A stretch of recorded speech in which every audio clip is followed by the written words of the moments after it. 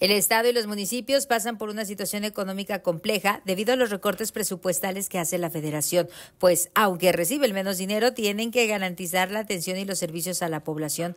Así lo comentó Alejandro Mojicana Herváez, coordinador de los diputados panistas. Abundó que aún se espera que llegue menos dinero en lo que queda del año. Es muy delicado que le sigan quitando dinero a Durango.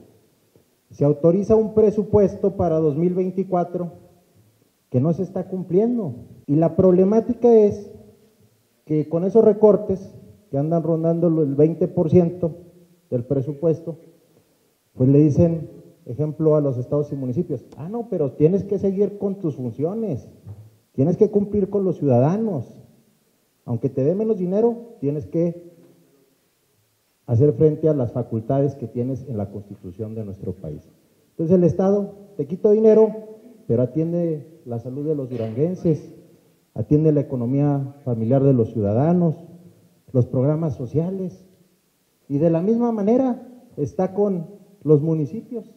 Les están empezando a recortar sus participaciones y ahorita que estamos a final de año cuando se generan mucho mayores compromisos económicos. Y ya lo dijo nuestro presidente, pero hay que generar el suministro de agua potable, y hay que tener adecuadamente el alumbrado público y la pavimentación que no se pare porque es una inquietud y una necesidad de los duranguenses. Ya lo dijo nuestro presidente Toño Ochoa, ya lo dijo nuestro gobernador Esteban Villegas.